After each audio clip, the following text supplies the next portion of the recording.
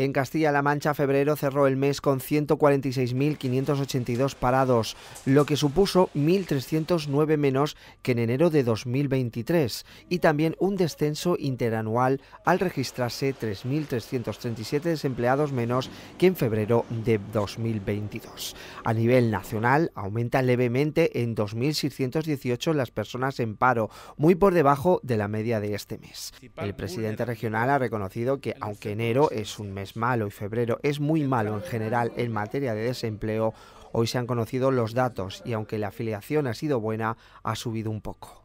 Enero y en febrero son meses después de la Navidad, todavía no llega la Semana Santa, bueno, lo típico.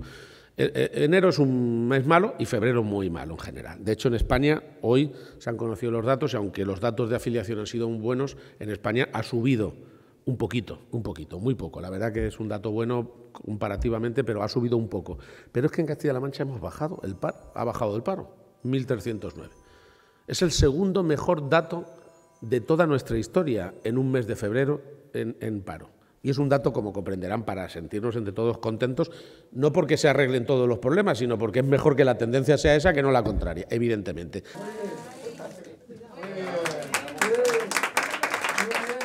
Declaraciones del presidente regional en el complejo residencial Guadiana 1 de Ciudad Real.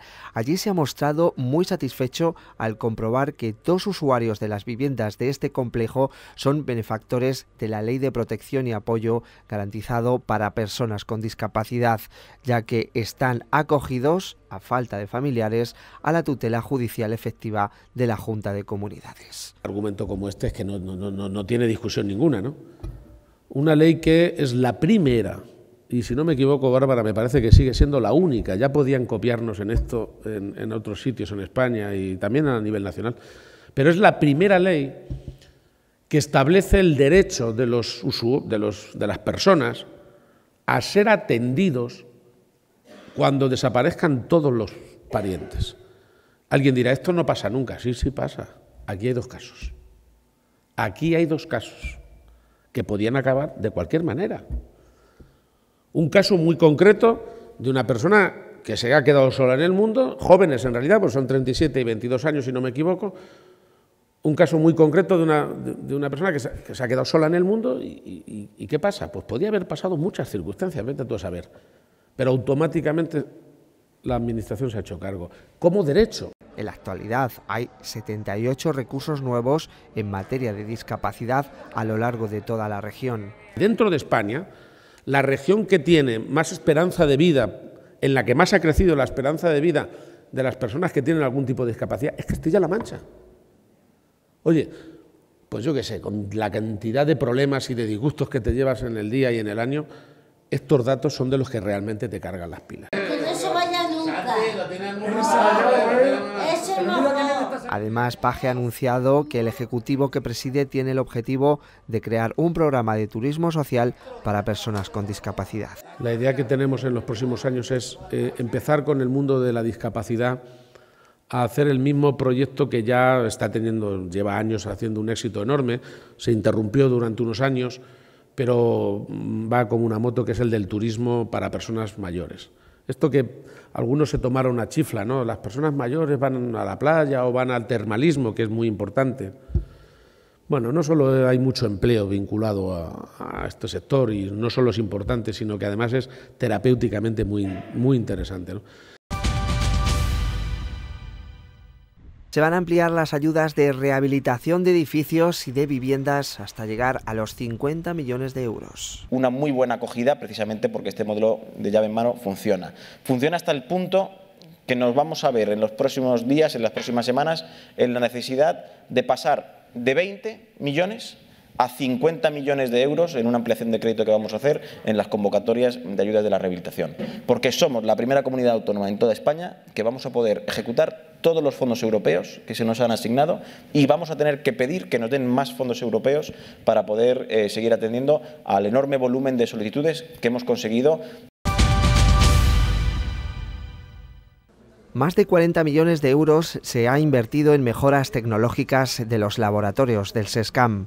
En definitiva, es una mejora tecnológica, mejora y eficiencia para las determinaciones analíticas Y también, como no, mejora en el diagnóstico, en la precisión, en la rapidez y en el trabajo de los profesionales, de las personas que están al cargo de estos laboratorios, a los cuales reitero mi agradecimiento.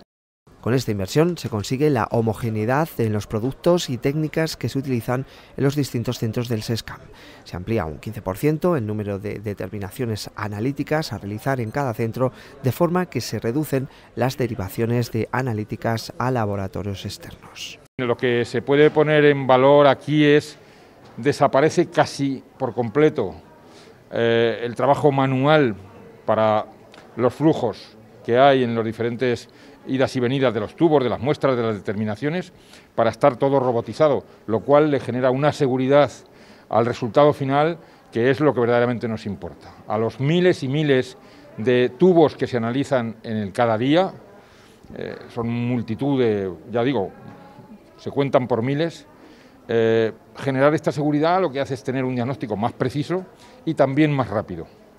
Y además de todo, eh, decir que no es el único laboratorio. Estamos renovando la tecnología de todos los laboratorios de eh, Castilla-La Mancha, de, todos los, de todas las áreas sanitarias. Son mejoras tecnológicas que permitirán además que cualquier paciente, independientemente del tamaño de su hospital de referencia, tenga la misma rapidez en el acceso a las pruebas con la misma fiabilidad en los resultados. Se invierten casi 44 millones de euros a lo largo de la presente legislatura en la mejora de los centros educativos en la provincia de Guadalajara. Se pretende así impulsar la digitalización y las infraestructuras educativas en esta provincia. Nosotros, desde luego, hoy venimos a constatar realidades, realidades que hoy podemos ver y visualizar y que se materializan no solamente en Junquera, sino en toda la provincia de Guadalajara. Han sido 44 millones los destinados en toda la provincia para las cuestiones relacionadas con la modernización de los centros educativos. Me estoy refiriendo no solamente a las infraestructuras, sino también a ese plan de digitalización que para nosotros es importante y que supone un revulsivo en materia educativa. 34 eh, millones son los destinados para cuestiones relacionadas con infraestructura y 10 millones para la digitalización, con más de 15.100 dispositivos eh, informáticos. La consejera ha recordado las inversiones referentes a su departamento que se han realizado en la provincia en estos últimos cuatro años. En este sentido, ha subrayado que se han destinado más de 2,2 millones de euros para la realización de obras, dotación de material informático, deportivo y digital, entre otros han sido desde luego un, un, esfuerzo que económicamente se traduce en unas cantidades creo, desorbitantes. En el caso de Junquera de, Henares han sido más de 2.200.000 euros lo que hemos invertido en esta legislatura, en esta localidad de Guadalajara. Concretamente en este centro en el que nos encontramos ahora mismo, estas, estas instalaciones que estamos viendo, la ampliación de estas instalaciones han sido de más de 900.000 euros, que si le sumamos al conjunto de los demás libramientos que les hemos hecho para cuestiones relacionadas con otras, con otras eh, como por ejemplo el material bibliográfico, deportivo, instalaciones fotovoltaicas, etcétera, suben a 1.200.000 euros.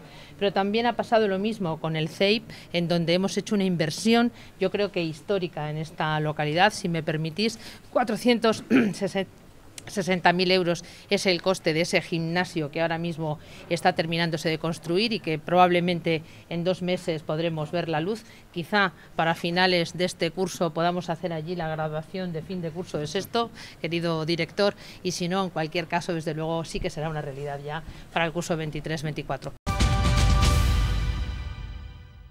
Carmen Picazo ha sido muy contundente respecto al caso mediador, la trama de tráfico de influencias en la que presuntamente han participado numerosos diputados nacionales del PSOE. Es repugnante que diputados del PSOE estén implicados en un escándalo de tráfico de influencias.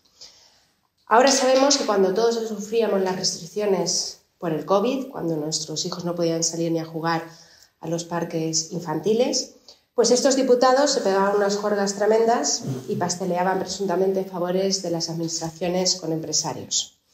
Y lo digo claramente, a los españoles esto nos da asco. Estamos ante un escándalo y los españoles se merecen saber qué diputados del Congreso están implicados en este escándalo.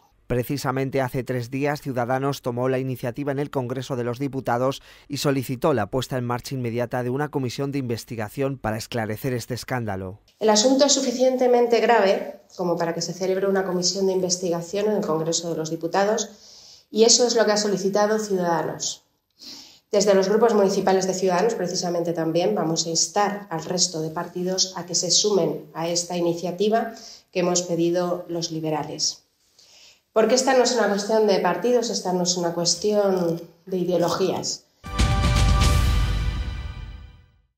La secretaria general del Partido Popular de Castilla-La Mancha, Carolina Agudo, ha denunciado lo que denominan operación de maquillaje con los datos de las listas de esperas sanitarias en la región. Han dado la orden por parte del Gobierno de Castilla-La Mancha para que esas citas que no se dan, que ya son más de 90 días de espera, se metan en un cajón. Esta es la solución que el Gobierno de Paje ha puesto a las largas listas de espera que sufren los pacientes de Castilla-La Mancha. Somos la región con las esperas más largas de toda España.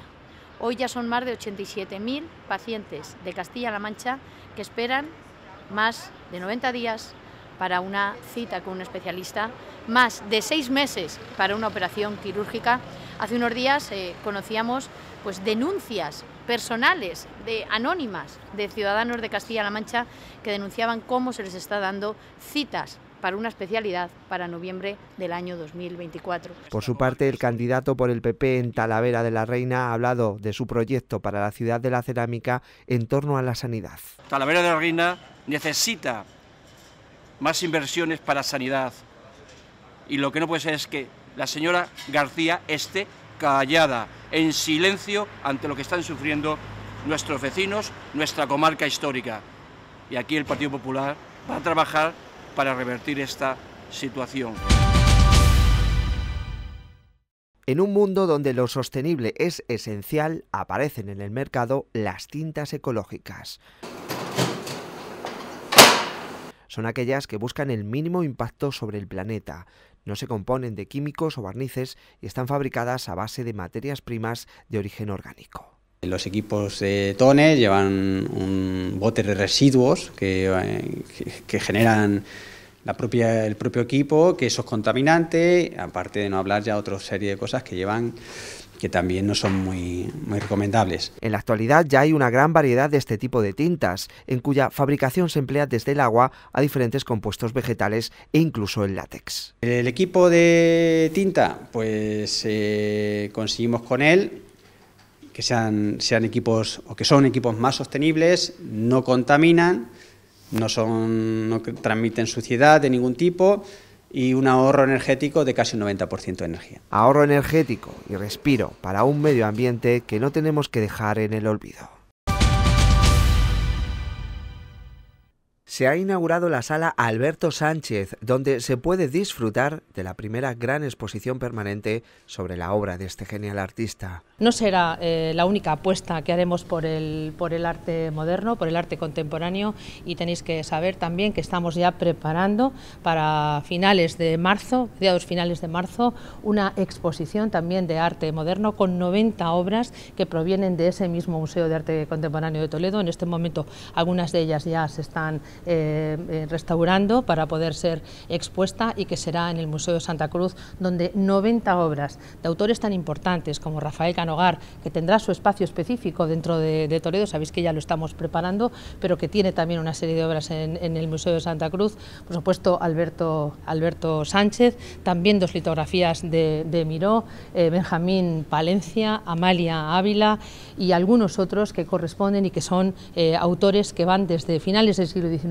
hasta los años 70. Por supuesto también algunos que todavía permanecen vivos, como son nuestros, nuestros, nuestros pintores y nuestros artistas eh, de Tolmo. La consejera ha señalado que esta muestra se va a complementar con otra exposición temporal en el Museo de Santa Cruz, con las piezas más significativas del antiguo Museo de Arte Contemporáneo de Toledo. Traemos a la ciudad de Toledo, traemos a la capital de Castilla-La Mancha y traemos también a, a Castilla-La Mancha una que va a ser la primera exposición permanente de un artista del calado de la importancia de Alberto Sánchez.